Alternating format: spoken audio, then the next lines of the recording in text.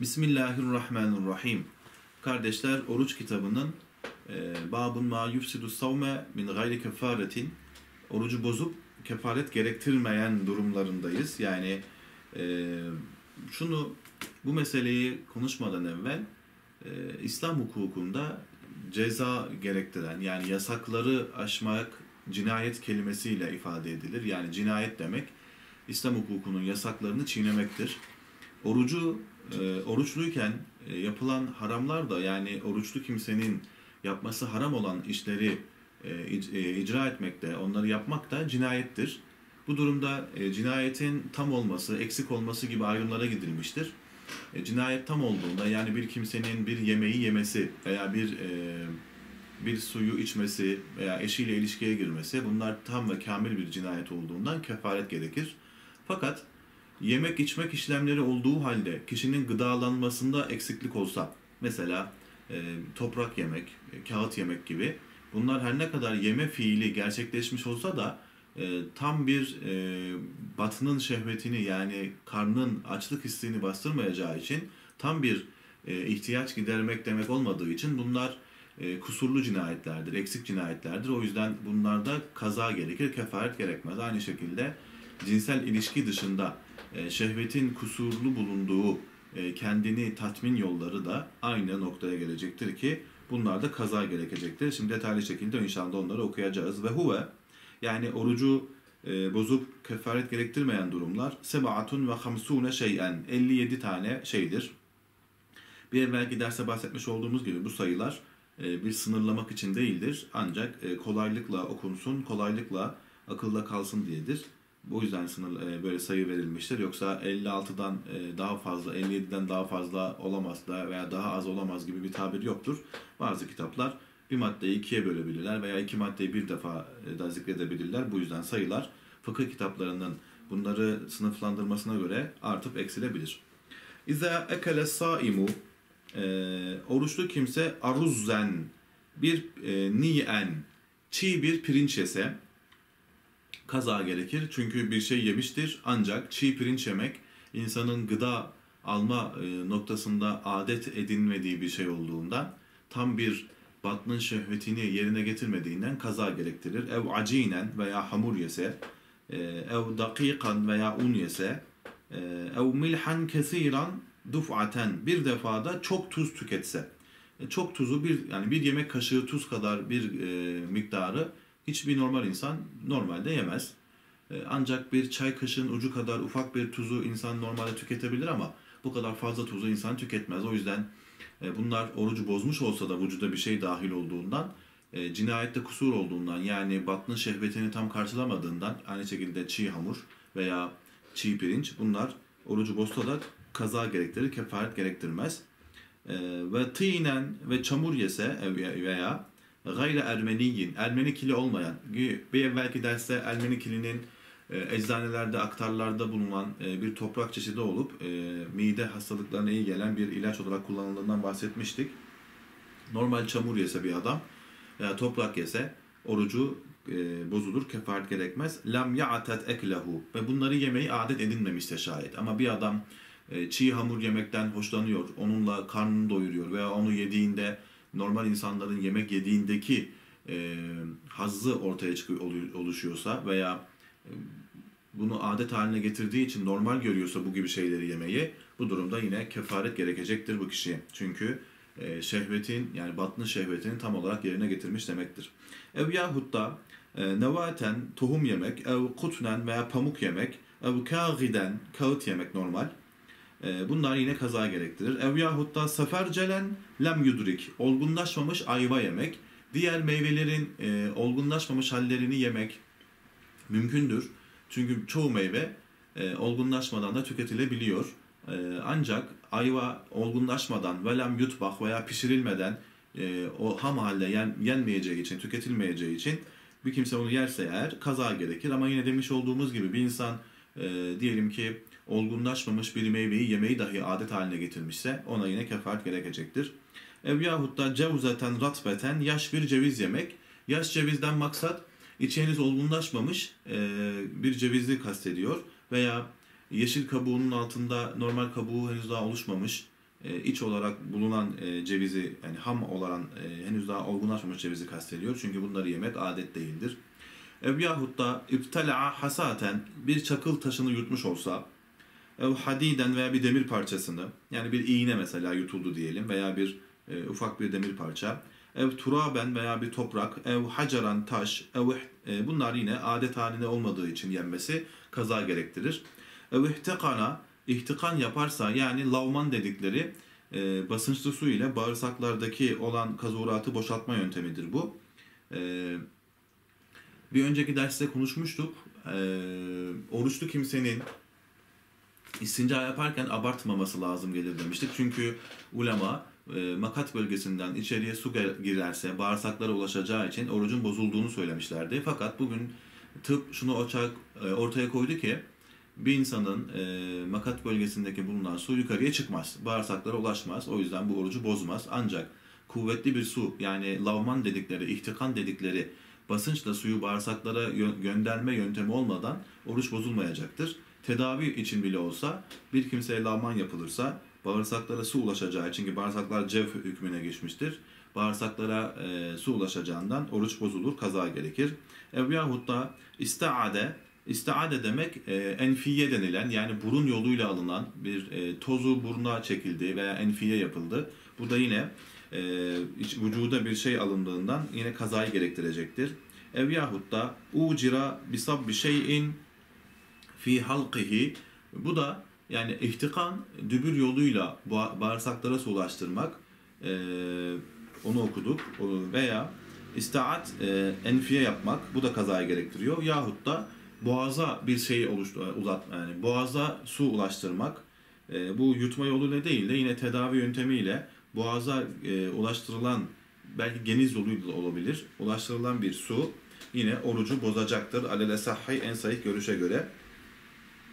Çünkü bunlar e, cef dedikleri yani orucu bozacak olan vücudun içi kabul edilen e, mahalle su veya bir maddenin ulaşması demektir.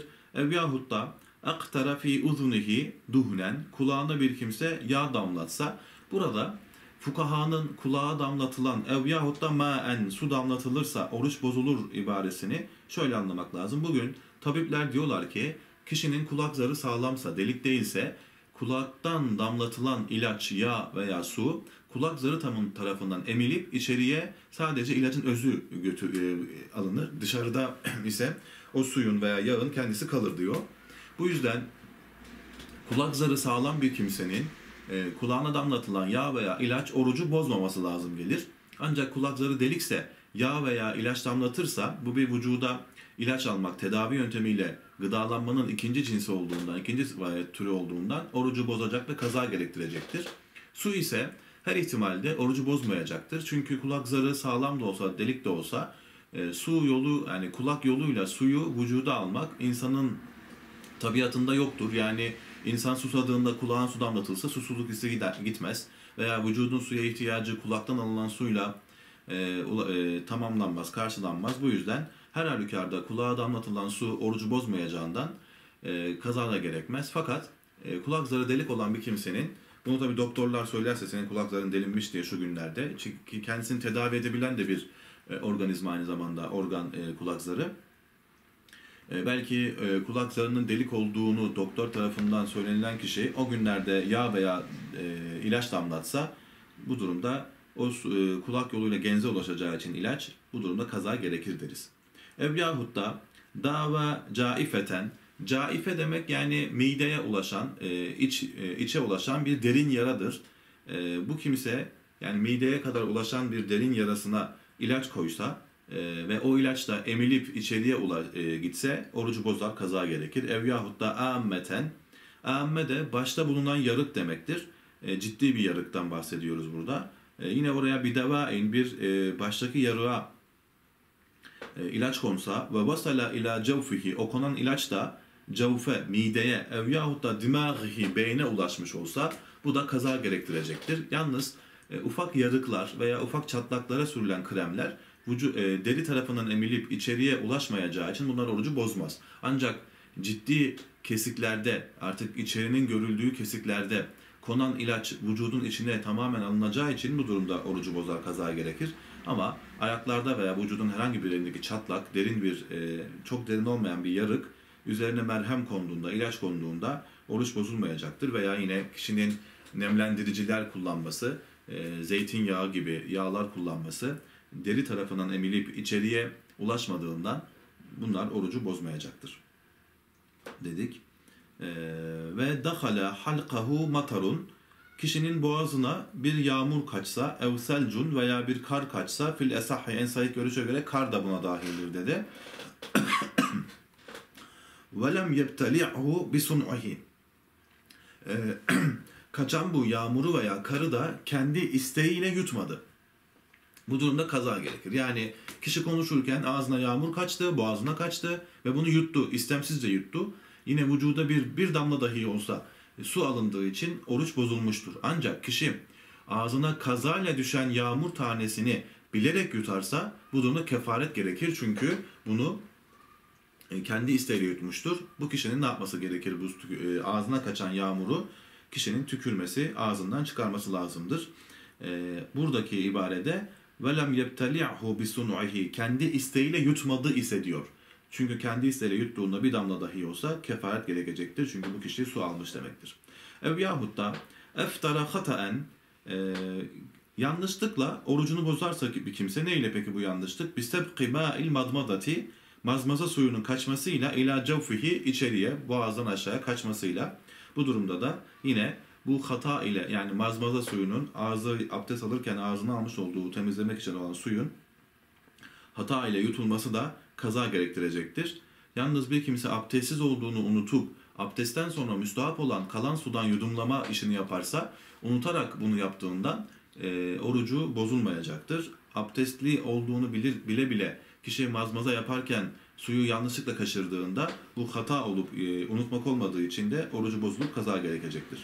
Ev yahut da eftara mukrahen e, mukrah olan yani e, zorlanılan, baskı uygulanan, tehdit edilen bir kimsenin kurhan istemeden e, bir e, orucunu bozma işini yapması böyle bir cima, cima bile olsa yine kaza gerekir. Çünkü burada kişiyi tehdit edilmiştir. Ölümle veya ciddi bir zarar vermekle tehdit edilmiştir.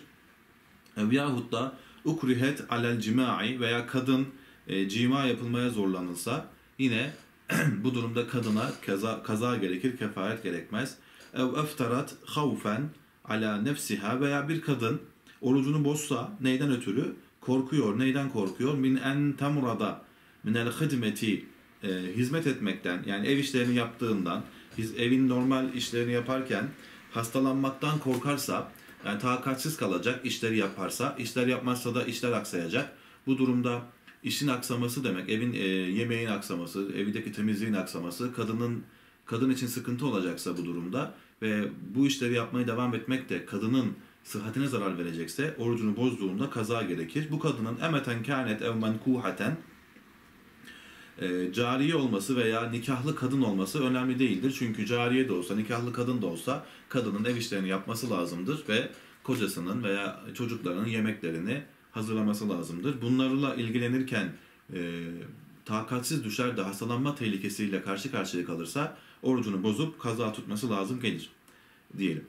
Ev yahut da sabbe ahadun veya bir kimse su döktü fi cevfihi ma'en kişinin e, mesela ağzından su döktü bu durumda o ki yine e, ve huve naimun o kişi de uyuyordu. Yani bir şaka yaptı belki de. Uyuyan kişiye e, su e, içirilmesi veyahut da hastalanıp uy, e, uyuklayan bir kimseye serum bağlanması gibi bunlar e, kaza gerektirir o kişiye. Kendi fiili, kendi dahli olmasa bile. Ev ekele amden veya kişi kasten yedi. Ba'de eklihi nasiyen. Unutarak yedikten sonra e, kişi e, orucu bozuldu diye yemeye devam ederse kaza gerekir, kefaret gerekmez. Velev alimel habera. Haberi bilse bile. Haberden maksat hadis-i şeriftir. Yani hadis-i şerifte unutarak yiyen kişinin orucu bozulmaz rivayetini bile bile bir kimse unutarak yese sonra orucu bozuldu diye yemeye devam etse bu kimseye kaza gerekir. Alale sahih en sahih görüşe göre.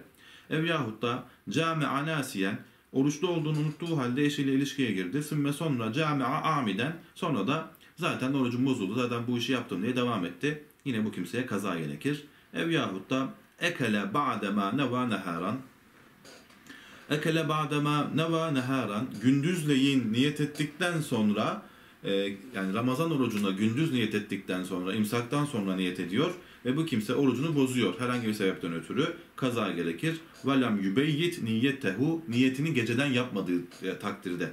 Yani eğer imsaktan evvel Ramazan orucuna niyet etmiş olsaydı herhangi bir sebep şer'i bir özür olmadan bu orucu bozmuş olsa gündüz vaktinde kefaret gerekiyor. Fakat imsaktan sonra niyet ederse bu kişi e, keyfi dahi olsa orucunu bozduğunda kaza gerekir çünkü niyeti imsak öncesinde olmuş olmadı. Ev yahut da esbaha müsafiren kişi seferi oldu.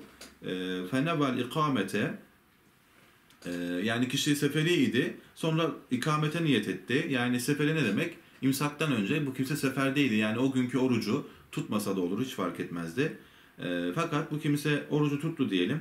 E, fenevel ikamete sonra ikam, e, ikamete niyet etti. Yani imsaktan evvel e, seferi idi, oruç başladı. E, Fenevel ikamete sonra bu kimse mukim olmayı kastetti. Yani bulunduğu beldede iki haftadan daha fazla kalmayı kastetti. Artık mukim oldu. Mukim olduğu için o günkü orucu tutması lazım. Fakat sümme ekale sonra bu adam yemek yedi. Yani orucu bozucu bir hal yaptı. Bu durumda yine bu kimseye kaza gerekir. Çünkü imsak vaktinde bu adam seferi idi. Yani orucu o gün tutmaması onun için caiz idi. Bu imsak vaktinden sonra bu kimse e, mukim oldu. Yani o günkü orucu tutması lazım geldi. Fakat bu kişi yemek yedi, orucunu bozdu. Bu durumda yine kaza gerekir. Zira e, imsak öncesinde bu kimse zaten o günkü orucu tutmamaya ruhsatı var idi. Ev yahut da safera veya bir kimse sefere çıktı. Ba'dema esbaha mukimen. Mukim olduktan sonra yani imsak vaktinde mukim olan bir kimse oruç başladı. imsak başladı, oruç başladı ve bu kimsenin orucu olması lazım. Bu saatten sonra, imsaktan sonra bu adam sefere çıktı, şehri geçti. E, şehri geçtiğine eğer mukim olduğu halde orucu bozarsa kefaret gerekiyor. Çünkü e, imsak vaktinde mukim idi. Fakat bu adam sefere çıktı, yani misafir oldu. E, feekele ve orucunu bozdu. Yine bu kimseye kaza gerekir. Çünkü e, seferi olduğu için o günkü orucu artık sefer hüküme başladıktan sonra yani şehri çıkmak çıktıktan sonra o günkü oruç ondan e, isterse tutmayabilir noktasında. Bu yüzden eğer e, şer'i bir özür varsa bozabilir ama şer'i bir özür olmadan orucu bozması caiz olmasa da şayet bozarsa bu kimseye yine kaza gerekir çünkü e, bu kimse seferdedir. Ama bir kimse e, muhkimken yani imsak vaktini muhkim oldu. Yani oruç tutması lazım. Ama o gün sefere çıkacağını biliyor. Ve bu kimse e, öğlen vakti sefere çıkacak, yola çıktı. Ama şehri geçmeden, şehri çıkmadan yani daha sefer başlamadan, namazı kısaltma hükmü başlamadan bir şey yer içerse bu kimseye kefaret gerekir. Zira henüz muhkimken orucun tutulması gerektiği halde bu kimse e, orucu bozmuştur. Bu yüzden sefer imsak vaktinde seferi olmayanların niyet etmeleri lazım gelir. Dilerlerse seferden sonra yani bir adam öğlenleyin yola çıkacak ama imsak vakti mukim, oruç tutması lazım. E, öğlen vakti yola çıktı, seferi oldu. Eğer e, kötü hissediyorsa kendisini, yolculuk onu yoracak böyle bir düşüncesi varsa, zanlı varsa bozabilir, kaza gerekir. Bozmayıp akşama kadar oruçlu kalması ona zarar vermeyecekse de o günkü orucu tamamlar. Ama bundan sonraki günler seferi olduğu için yani imsak vaktinden itibaren seferi olduğu için dilerse tutar, dilerse daha sonra kazasını yapmak üzere o gün oruçlarını tutmaz. E, dedik. Ev yahut da 34. E, mesele emseke yani kişi kendini yemek içmekten alıkoydu, tuttu. Bila niyeti savmin, oruç tutma niyeti olmadan ve la niyeti fıtrin, bozma niyeti de olmadan. Yani imsak girdi, bu adam ne oruç tutmaya niyet ediyor ne de e, oruç tutmamaya niyet ediyor. Böyle niyetsiz bir şekilde, kasıtsız bir şekilde akşama kadar aç kaldı. Bu kimsenin orucu geçersiz olduğundan bu kimsenin yine kaza tutması lazımdır. Yani bu yine şunun da fetvasıdır. Bir kimse Ramazan günü hiç niyet etmeden oruç tutmasa kaza gerekir. Kefaret gerekmez. Fakat bu çok büyük bir günahtır. Çünkü Ramazan dışındaki bütün günler, ömrün bütün günleri oruç tutulsa bir Ramazandaki orucun sevabına kişi erişemez. E, ve şunu da şöyle de anlamak lazım. Oruca başlayıp bozmak kefaret gerektirir. Kefaret demek bu dünyada yapılan e, günahın, cinayetin ödenmesi demek.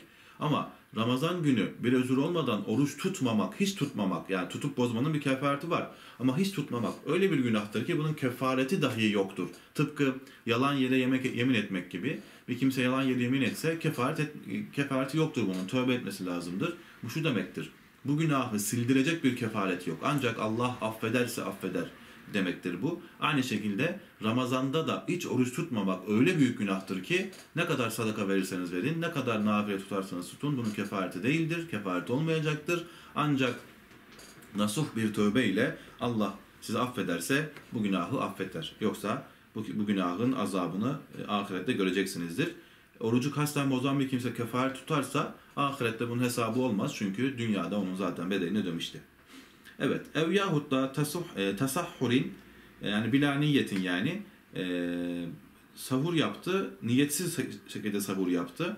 Sabah kalktı ama oruç tutma kastıyla kalkmadı sahura. Bu kimsenin yine o gün e, hiçbir şey yememiş olsa bile oruç tutması, e, orucunu kaza etmesi gerekir. E, diğer madde ev yahut da camia e, cima yapsa kişi şaken şüphe ettiği halde fi tulu'al fecri imsak e, doğmamıştır daha diye eşiyle ilişkiye girdi. Fahuve tali'un sonra bir baktı ki halbuki imsak doğmuş, imsak girmiş. Bu tıpkı imsak girmedi zannı ile yemek yiyen, oruca zarar veren bir şeyle meşgul olan bir kimsenin bir bakıp e, daha sonra e, imsağın girdiğini anlamış olsa bu kişiye kaza gerekir ama bir kimse imsağın girdiğini bile bile e, bunu yapsa diyelim ki eşlerden birisi biliyor e, imsağın girdiğini eşi bilmiyor. Diğer kişi, diğer taraf bilmiyor. Onu ya girmemiştir diye ikna etti diyelim böyle bir ilişkiye. Bu durumda e, diğer kişiye imsak girmedi zanneden kişiye kaza gerekirken imsağın girdiğini bile bile cima yapana ise kefaret gerekir. Ev yahut da eftara bi zannil gurubi veya akşam güneş battı zannıyla orucunu açtı ve şemsuk bakiyetun halbuki güneş daha hava tepede yani güneş daha henüz batmadı. Akşam namazı daha başlamadı. iftar etme zamanı başlamadı. Kişi iftar olduğu zannıyla bir dakika iki dakika evvelden bile olsa orucunu erken açtı. Bu durumda bu kimseye gene kaza gerekir. Eğer imam efendi yanlışlıkla ezanı iki dakika erken okusa ve bütün mahalle orucunu açsa hata ile daha sonra iki dakika geçince vaktin girdiği anlaşılsa bu durumda bütün mahallenin kaza tutması lazımdır. Ev yahut da şimdi kardeşler e, cima değil de e, hani cinayetin büyüğü küçüğü diye dersin başına konuşmuştuk. Yani e, cima yapmak Ramazan orucu için e, kamil bir cinayettir, kefaret gerekir. Bunun dışındaki e, şehvetül ferç yani e, tenasül bunun şehvetini gidermek için daha nakıs şeylerde e, cinayeti kasır olduğundan, eksik cinayet olduğundan kaza gerekir, kefaret gerekmez.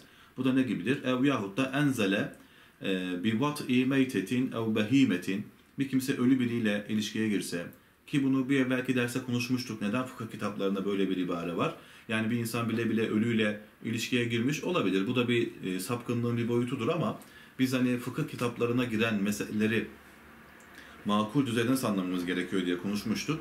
Bir insan gece eşi uyuyorken ilişkiye girmek istese, yani eşinin uyuduğunu zannediyor olsa, halbuki sabahleyin kalktığında eşinin e, ölü olduğunu, yani geceden vefat ettiğini fark ediyor e, onu e, kadın öldüğü halde uyuyor zannederek e, cima yapmış olduğunda bu durumda bu kimsenin e, orucu mesela bir de oruçlu olduğunu düşünelim bir de mesela diyelim bu adamın kefaret değil de kaza etmesi lazım gelir e, gibi durumları konuşmuştuk. İbarede geçen bu meseleler de yani şöyle anlamak lazımdır.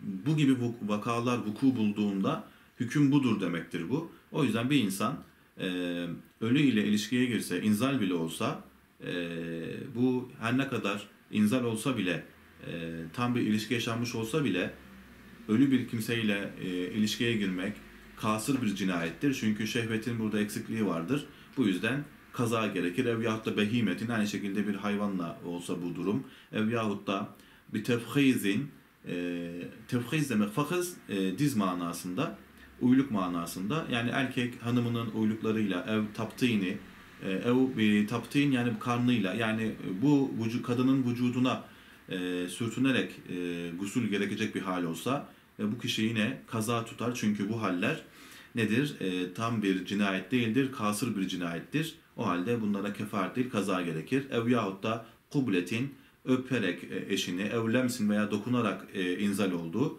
e, gusül gerekti. Bu durumda oruçlu olduğu halde bu kişiye kaza gerekir. Çünkü bu gibi hallerden inzal olmak, cimada inzal olmak gibi e, kamil bir cinayet değil, nakıs bir cinayettir.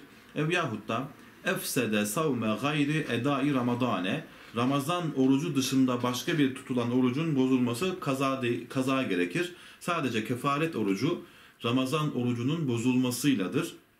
Hatta bir kimse Ramazan orucunun kazasını tutuyor olsa başka bir zamanda onu bozsa bile kefaret değil kaza gerekir. Ev yahut da vutiyat bir kadınla ilişkiye girirse vahiye naimetun kadın da uykuda, uykuda olsa e, bu durumda kadına yine orucu bozulur kaza gerekir. Kefaret gerekmez uyuduğu için ve cimayı kendisi istemediği için.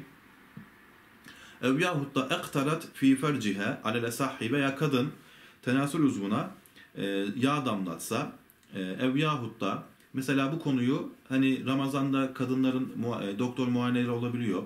E, soruyorlar mesela işte yarın doktora muayenem var e, ve alttan muayenem var işte gibi. Orucum bozulur mu bozulmaz mı gibi soruluyor.